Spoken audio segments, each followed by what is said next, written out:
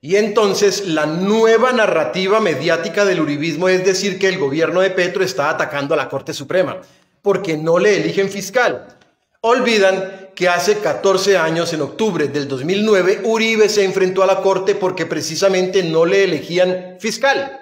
Tiene que ser respetuoso de la Constitución y de la Corte.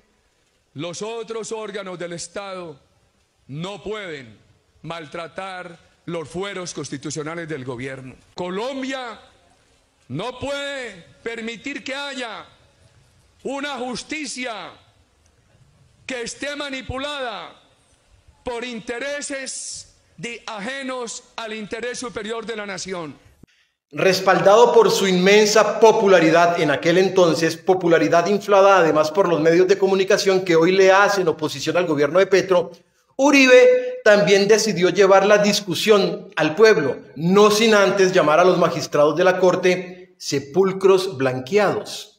Lo pensé mucho esta semana y dije, el tema hay que llevarlo al pueblo colombiano. Yo no lo sigo manejando en encerronas entre cuatro paredes en Bogotá, de espaldas al pueblo, para que finalmente los cálculos le presenten al país la protección ficticia de la Constitución a través de sepulcros blanqueados.